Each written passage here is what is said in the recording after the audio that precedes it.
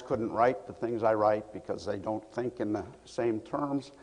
Um, what I'm going to look at today is private law enforcement as you can see. Um, and uh, the uh, focus will be on criminal justice. I do want to say that there's a lot of other private law enforcement uh, around contract law. Um, you have business arbitration, those sorts of things. Uh, trade associations have their own arbitration tribunals.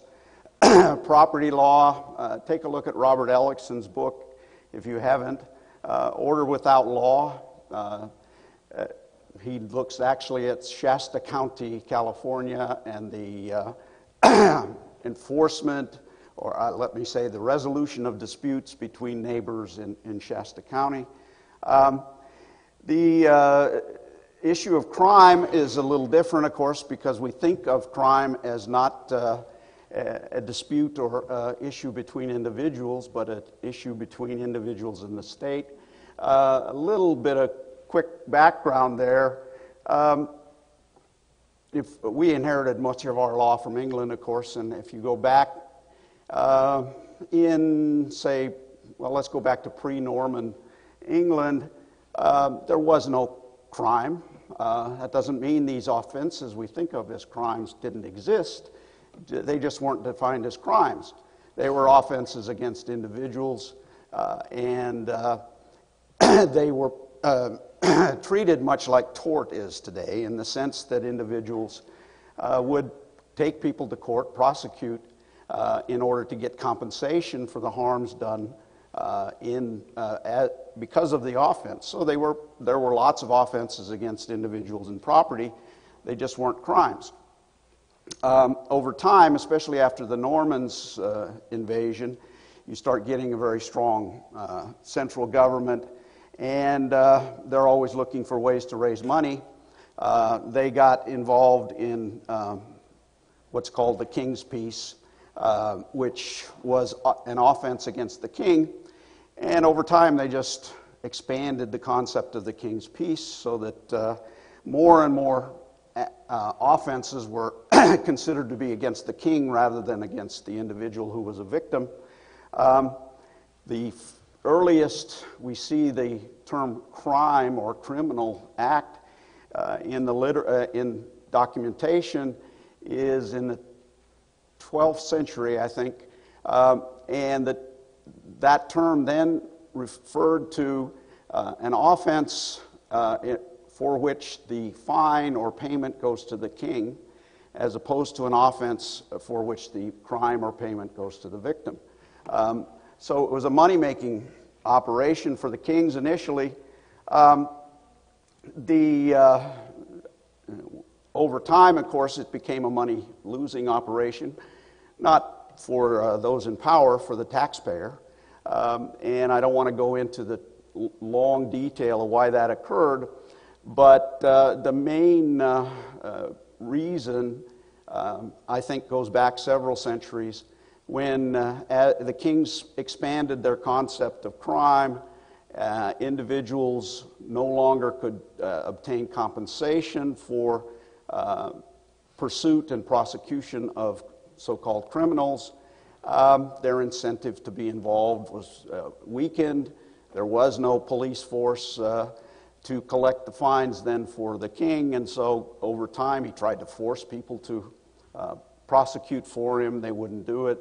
Uh, finally, uh, he, uh, they start collecting taxes and paying police. Um, so it's a long uh, history of gradual evolution to get where we are today, where now um, modern criminal law is, is uh, highly pol- politicized. Um, the, uh, I would say the dominant interest groups in political law probably now are the police and uh, a few, uh, few other organized labor, uh, criminal justice labor org- organizations like uh, prison guards and so on. Um, and uh, today we can think of crimes as, as uh, mostly uh, offenses that are defined po- uh, through politics. Um, all the old ones are still there, the, uh, the robbery and murder and all those sorts of things, but now we have lots of other offenses uh, that are victim have uh, no identifiable victim and so on. Um, so we've had a tremendous increase in criminalization over the centuries. Can you change the? Um, so uh, how can we privatize this uh, mess that we've ended up with? Um, I want to uh, say that uh, I'm not talking about privatization the way um, a city official would. I'm not talking about contracting out with private uh, police by the government. Um, that's just extending the government and granting uh, coercive power to a, a private firm. Um, I'm talking about true privatization, both demand and supply uh, being privatized, and so that you get competition. Um, and uh, competition is based, of course, on quality of services uh, rather than unfulfilled promises and that sort of thing. Um, well, it's happening. Uh, it's uh, it's uh, probably surprising uh, how much it's happening. Uh, the last figures I've seen, which now are several years old, uh, was that there were about three times as many private security employees in the United States as there are public police. Um, the uh, one difference, of course, is that, uh, of course, the police describe all these private security people as mall cops, uh, people who want to be uh, police but can't make the grade, that sort of thing. Um, in fact, the good thing about the market is it pro- provides what you want. So if you just want a night watchman or someone to walk around and, and uh, uh, give the uh, indication that you might be watched and caught, um, you don't have to pay a very high wage for that person. Um, if a crime com- is committed uh, after uh, anyway, then that person has failed. Uh, he hasn't done his function. His job is not then to go pursue the criminals, just try to prevent the crime. Um, and that's another big difference, of course, between the public and the private. Uh, in uh, the area of law enforcement, private uh, firms that provide protection services are actually protecting. They're trying to prevent the crime from happening. Whereas police, their incentives are to let the crime happen and then react afterwards by pursuing uh, the offender because uh, like any bureaucracy, they have to have something to count uh, to show that they're important. And one of the main things they count is numbers of arrests and things like that. So the crime has to happen before they really uh, go into action by and large. Um, but again, uh, in the private sector, um, we have the minimum wage watchmen, but we also have uh, security specialists who earn um, six figure, seven figure salaries because they're experts in uh, the technology of uh, crime prevention. Um, we, uh, we see, of course, lots of public police uh, who, after they retire with their high uh, pension benefits, uh, go into the private market as well to provide these kinds of services.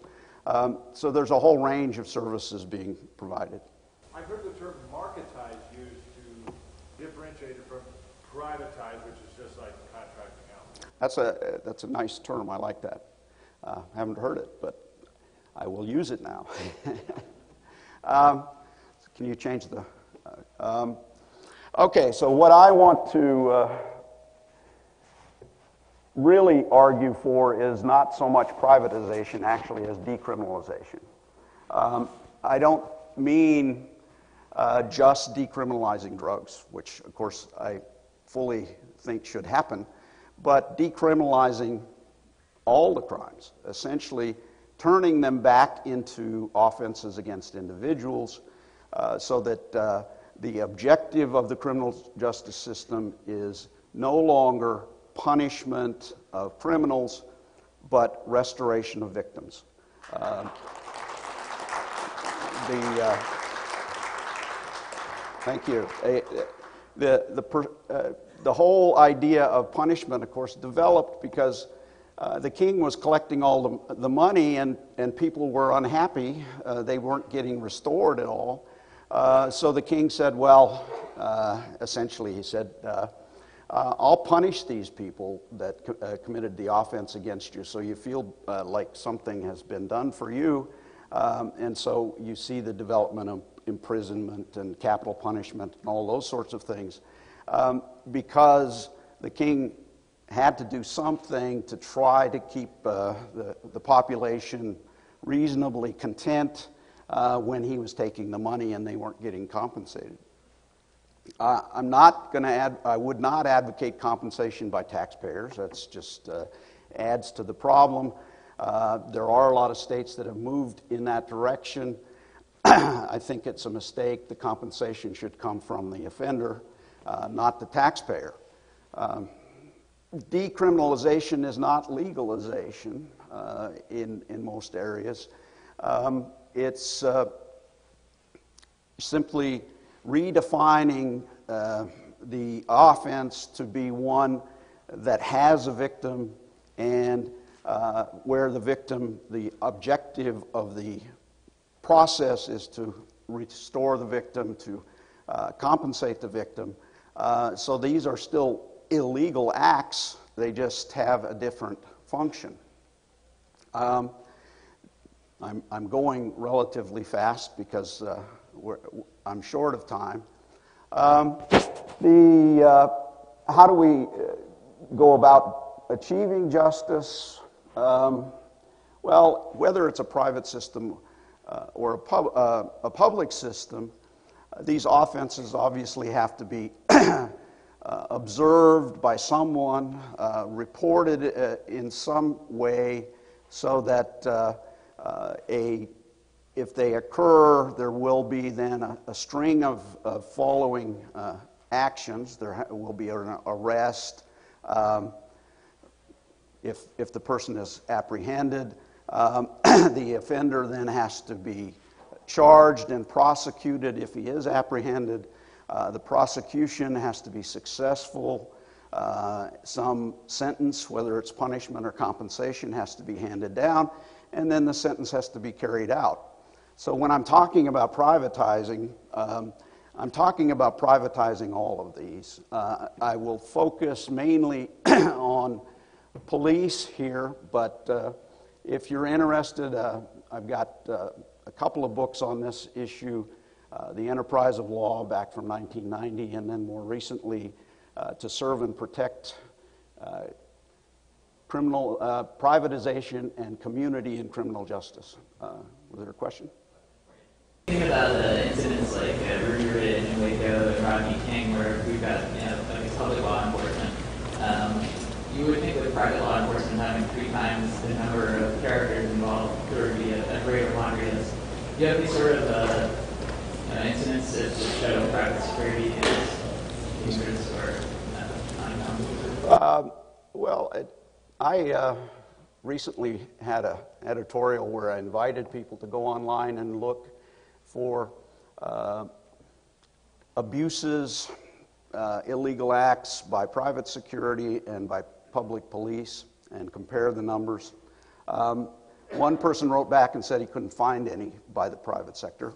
Um, there, there are occasional abuses, of course, but one difference is that the private firm, as was suggested in the earlier talk, the private firm is liable for its actions. So uh, if the private firm abuses uh, an innocent victim or even a guilty party, uh, they can, they're subject to litigation and compensation. You, you can't sue the police. Uh, you can, but you're not going to win uh, most of the time because they don't have an obligation to protect, in fact. Yeah, may, may I suggest uh, one helpful way of analyzing the current system is to be able to differentiate between actual crimes and mere disobedience what you're being accused of is disobeying some bureaucrat, that's not a crime.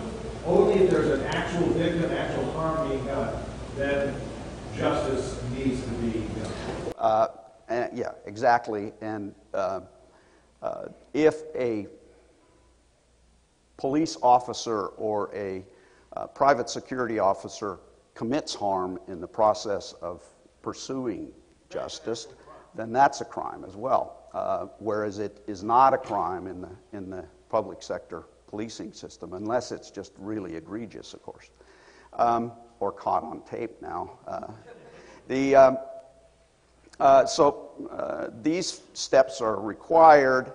Um, what I want to uh, quickly suggest is that if we were to switch the focus of our criminal justice system from punishment to restitution, um, we would ha- improve every dimension, uh, every one of these uh, areas, because the incentives would change.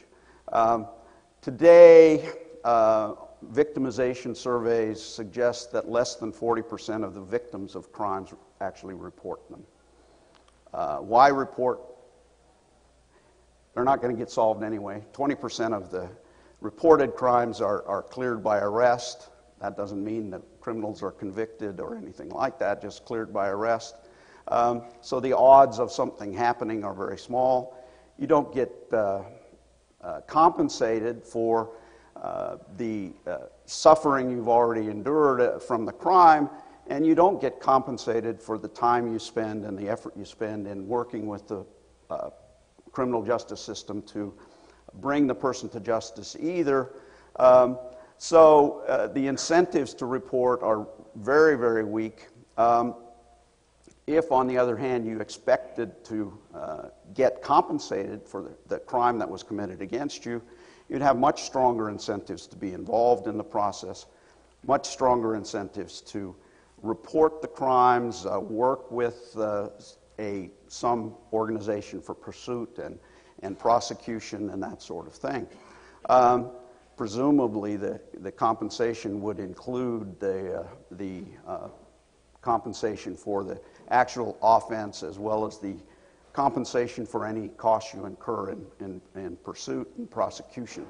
Um, the, uh, the other uh, issue, of course, is uh, uh that private security is relatively effective at crime prevention now. Um, there's a fair amount of evidence of that. Um, let's, can you go to the next slide?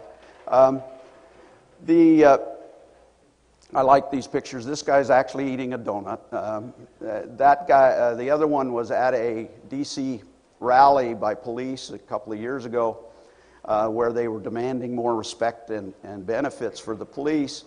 Um,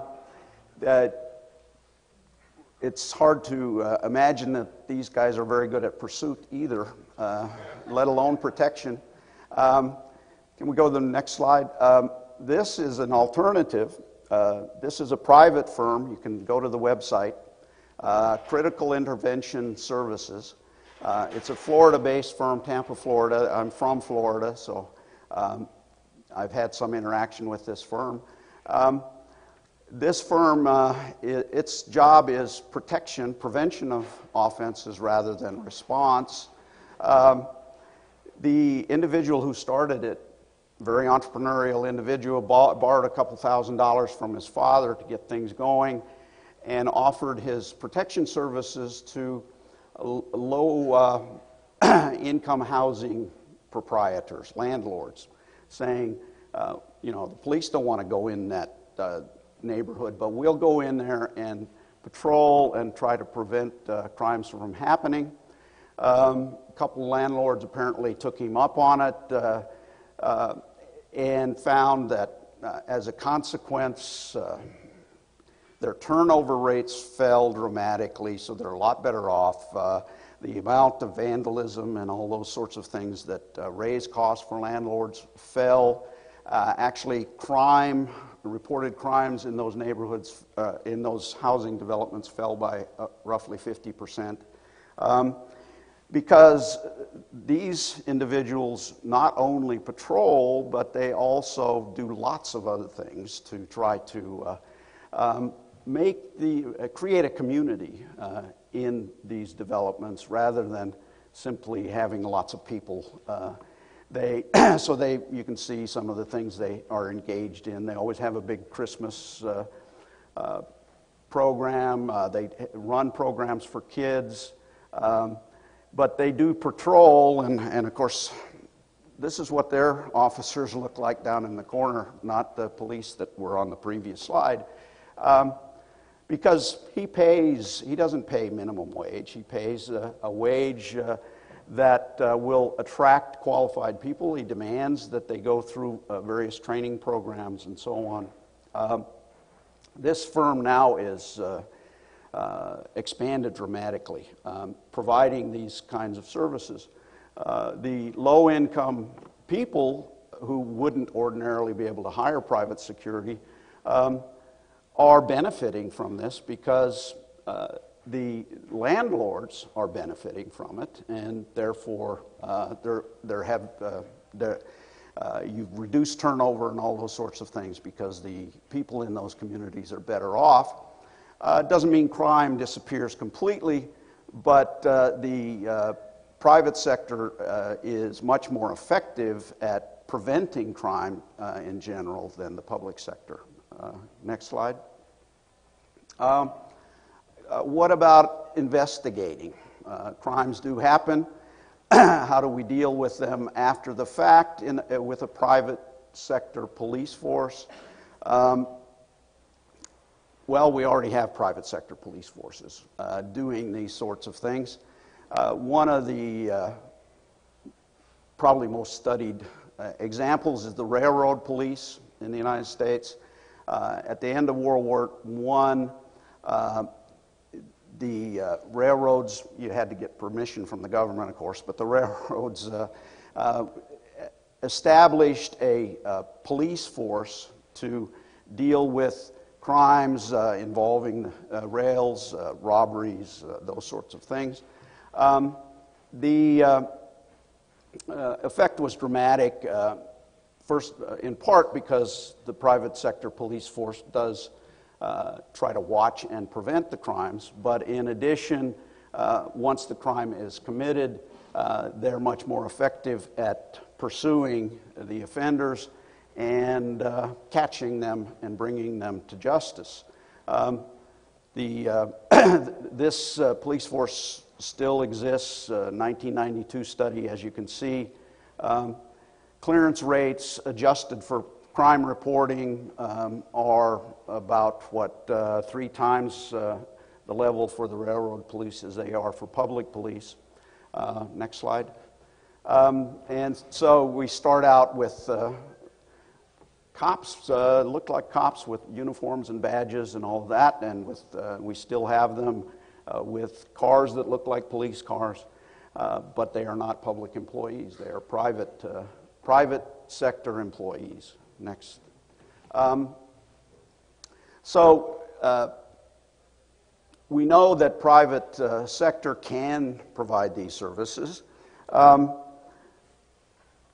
how do we create uh, incentives for uh, them to do so? Um, now, of course, there, there are incentives to uh, pay private firms to, uh, to watch and protect, um, but uh, if we were to privatize the process, we'd have to look at pursuit as well.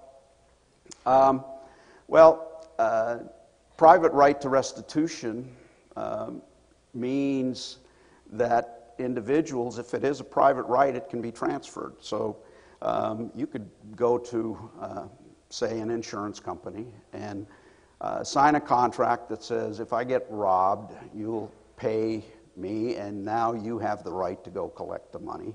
Um, I talked about this a few years ago uh, at an audience that included uh, a number of people from insurance companies. And and some of them were really excited about the idea. They thought, boy, uh, we would jump into this so fast uh, that, uh, because it's a, it's a way of um, expanding the insurance market for them, of course, but also um, uh, give, would give them the opportunity to actually pursue on their own we do have insurance investigators and that sort of thing now, but it would be expanded uh, quite dramatically, I think, and fairly quickly.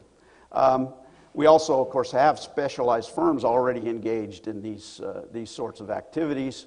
Um, the the uh, most uh, noticeable, probably in the United States, are the is the bail bond uh, industry, where you have individuals uh, who pursue bail jumpers uh, and bring them back um, much more effectively than the public police do.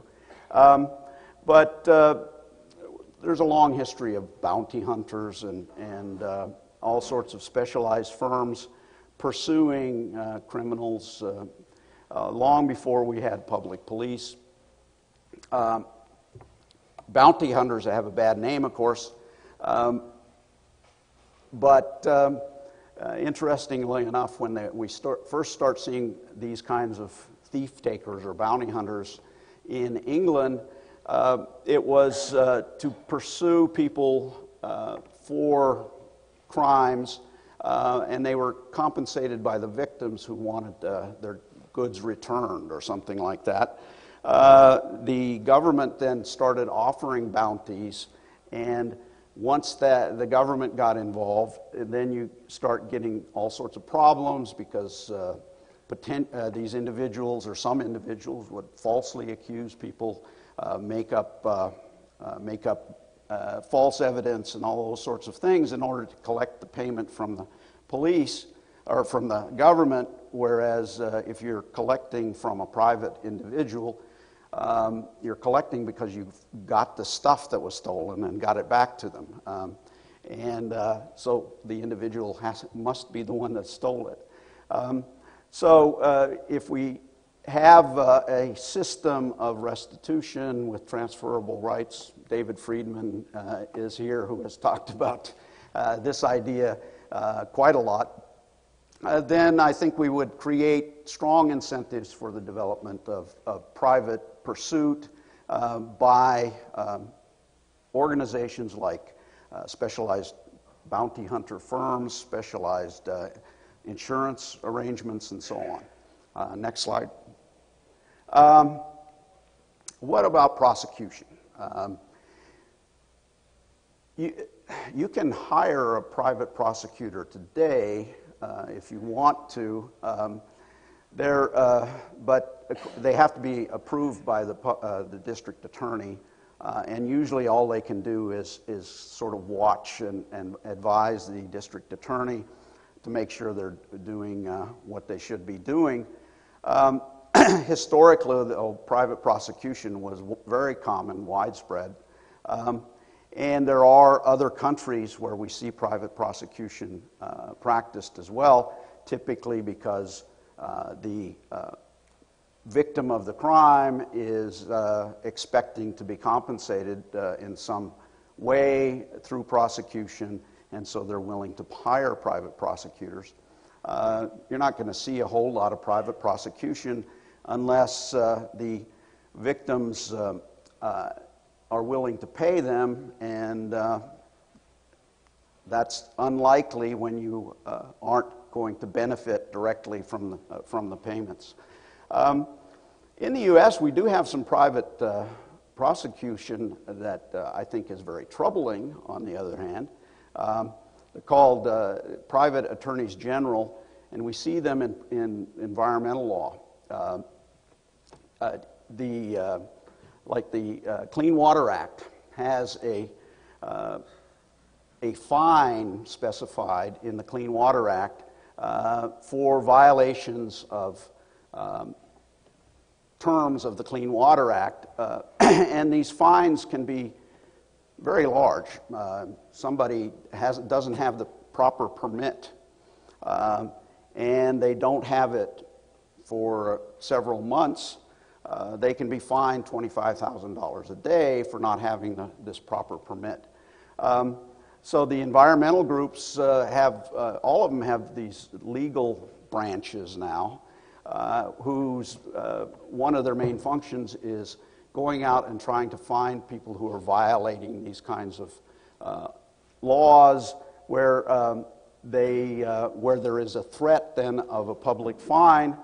And of course, that threat alone leads many of the firms to negotiate a settlement. Uh, the settlement typically will include a payment to the environmental group uh, to cover their legal costs, uh, a uh, uh, payment, uh, usually, in fact, uh, there's also a supplemental environmental project that the firm agrees to fund so that they end up spending, the firms simply spend a lot of money uh, to avoid paying even more fines. Uh, and so you get these settlements uh, because of this private uh, attorneys general opportunity for environmental groups.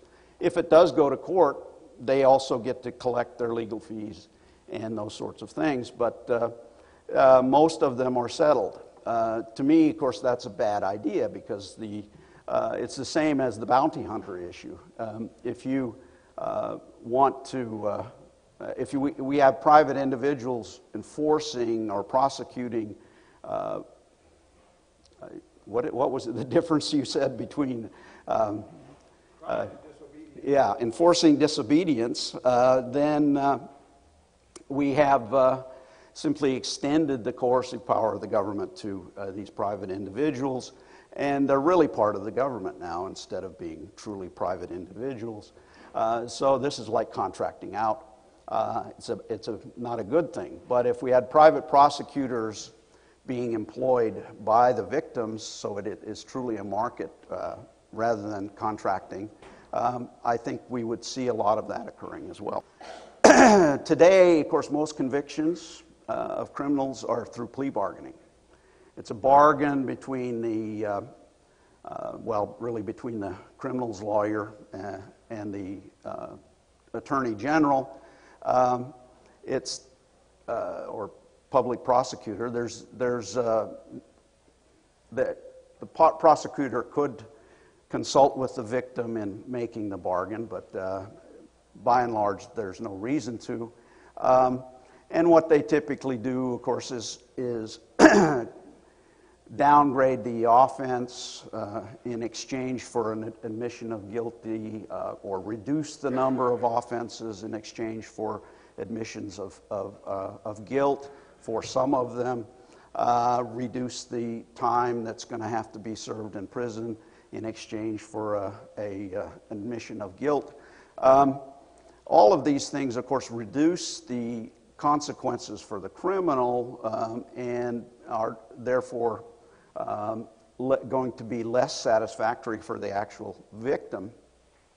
Um, I would say we would still see lots of bargaining in a private sector, uh, but it would be between the victim or his representative and the offender. So the bargain is not about how much punishment you get, but how, how big the fine's going to be or the compensation's going to be. Um, and uh, so you're going to have the, the victim's interest recognized immediately. Um, to, in, in Japan, we see something like this on a largely informal basis. Um, if someone commits an offense and uh, the victim knows who it is, or somebody else observes it, and, and the individual knows he's going to get caught, uh, he will send a representative, a member of his family, or something like that, to the uh, victim and say, I'm really sorry I did this. I, I, I, want, I want to ask for your forgiveness. Um, what can I do to make things right? And they'll bargain uh, and maybe for some compensation of some sort. Um, then, if, the, uh, if this bargain is successful, the victim writes a letter to the public prosecutor saying uh, the offender is remorseful. Uh, he, uh, we've, uh, we've come to a, a, an agreement that's satisfactory for me. and so the public prosecution itself will produce a very light punishment, if, if any punishment at all. Um, and uh, of course, going to prison in Japan is not pleasant, but uh, uh, if you don't uh, bargain, you're going to get a much heavier punishment from the government. So there is examples of victim offender bargaining now, um, but with a, an explicit recognition that what we're after is victim compensation rather than punishment, I think uh, we would see a lot more of that sort of thing. Um, we raised the issue of police abuse. Uh, the, uh, here you can see the cop reaching out and trying to take away the signs about uh, uh, the police abuse at a public meeting. Um, the incentives here would be very different as well, of course, as I said before in answering a question. Uh, the private sector would be much uh, uh, more careful, I would say, because they are liable typically for the actions of their employees. And so if you hire somebody who's a bully, you're probably going to have to start paying people for the actions of that bully. Uh, your incentives then are to hire people who aren't bullies. Uh, and uh, that typically is the case. Question? Yeah, you know, um, uh, what do you do, how do you address the problem of, and which I think happens a lot in society often, where a person who is indigent uh, commits uh, an offense against a person let's say, leaves the other person very much injured, a lot of expense and all that, was completely indigent. Uh, how do you get the money out of it? Insurance. Well, insurance is one way. Um, the insurance company then may not be able to collect, of course. But uh, uh, I'm not going to talk about private courts. Uh, there are uh, experimental private uh, mediation arrangements for minor crimes going on now. Uh, we have, um, of course, private arbitration and mediation, which mainly focus on determining what, has, what should be paid in compensation. Uh, if, it, if we were after victim compensation, these private courts could uh, easily handle that sort of thing.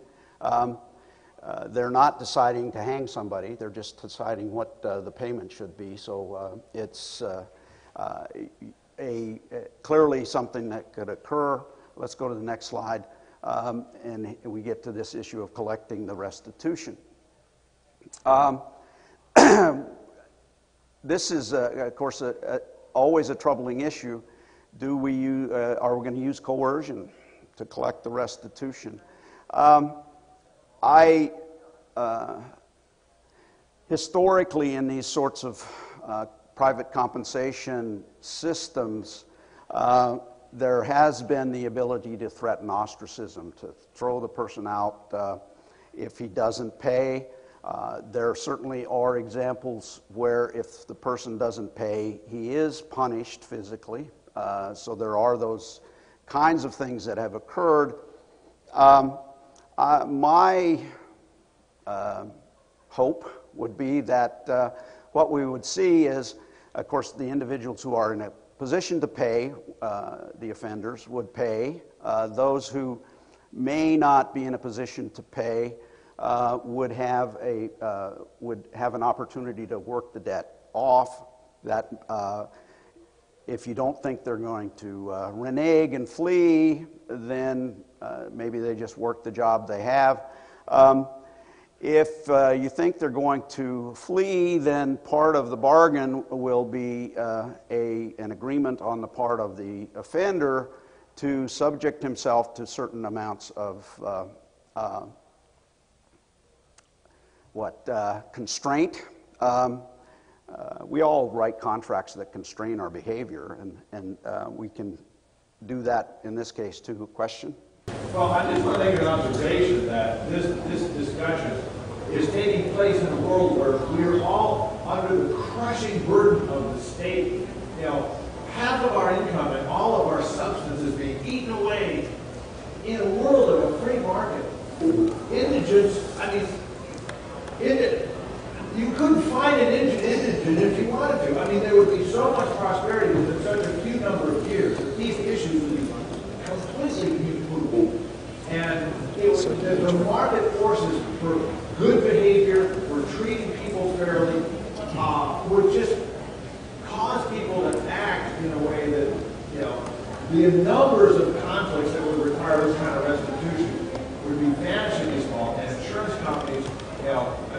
the losses incurred by an indigent would be trivial.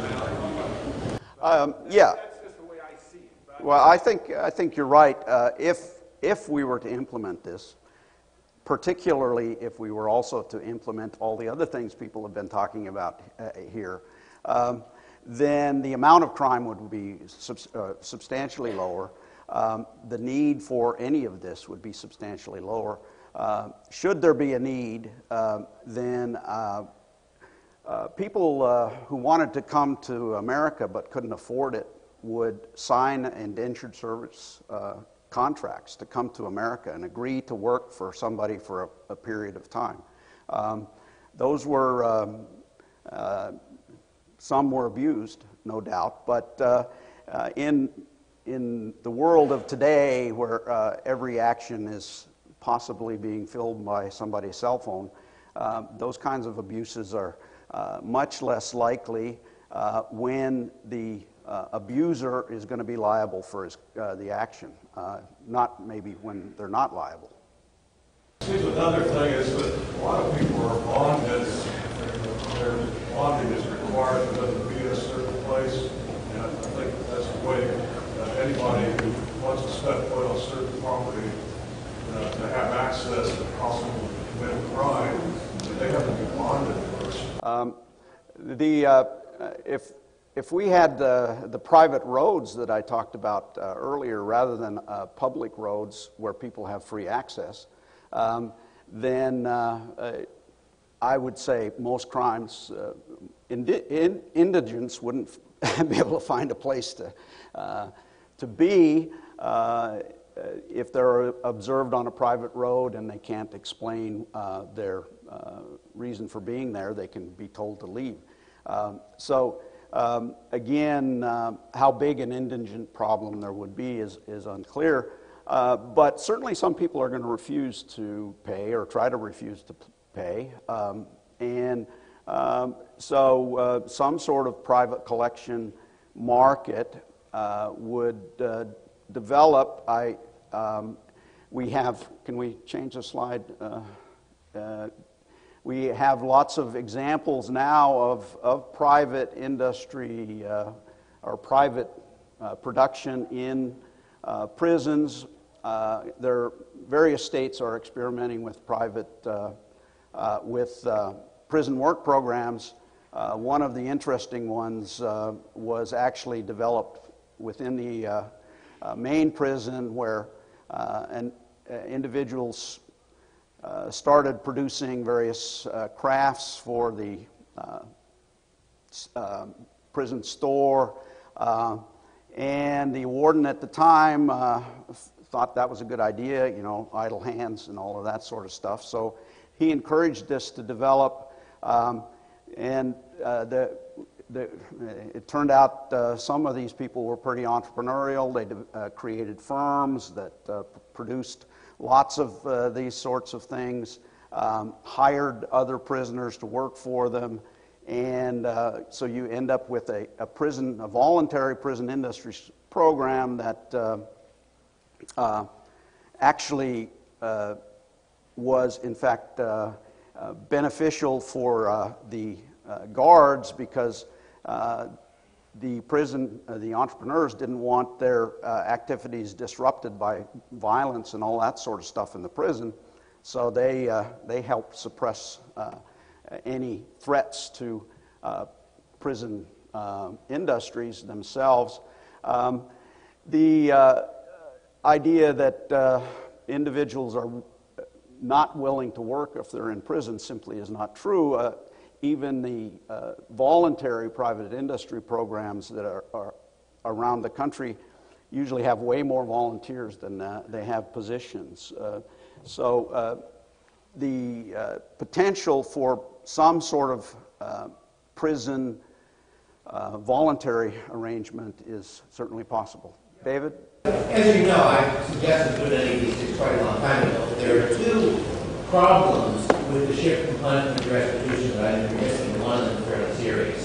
Uh, the first is that if I expect to be compensated when I report my crime, that increases my incentive to report it, but decreases my incentive to prevent it. So if you think about the fact that a crime really depends both on decisions by the potential victim and by the criminal, my incentive to take precautions is that it can be compensated. That's a more serious problem, though, is that all of this is assuming, in effect, an honest and uncorrupt court system. And a different way of putting it is that when you shift to the restitution model, you're setting up a situation where I can get sufficient control over the court, I can expropriate your human capital by convicting you of something you didn't do and then making you in effect, a temporary slave.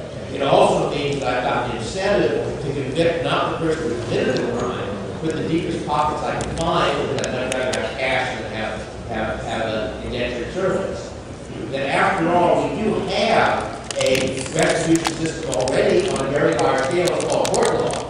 And we are familiar with some of these problems that we observed. Yes, but we have public courts. I understand. With funds. But we have as you know, I'm in favor of the full-scale version. But I'd like to suggest that there are real advantages to private deterrence rather than compensation as being set in the report. Because the reason you want to catch people is so people won't commit crimes against you. You want to catch the right guy. If the reason is you can extract money from them in compensation, then you want to catch somebody you can convict. And according to how good the court system is, that may or may not correlate well. I'm always saying there, there are problems, there are most solutions. There are problems raised by the really require thinking. Um, and that's why I'm always uh, uh, unwilling to actually, or I am now. I used to uh, be willing to describe a private system. Um, today, I, I'm much less specific because um, I realize that entrepreneurs are so much more clever than I am at coming up with ideas to deal with these kinds of problems uh, that uh, if I were to predict something um, that uh, I, I, it probably wouldn't arise. It, it, some things would, um, but for the most part, uh, uh, you know, they're going to. Uh, we have mechanisms, for instance, for choosing arbitrators that give uh, that require that both parties have to agree to the choice. Um, ra- anytime you have, as you suggest, a uh, one party getting to choose the courts, you've got problems. Uh, so if you have to have agreement on the arbitrator or mediator uh, by both parties, then the uh, potential for that is reduced.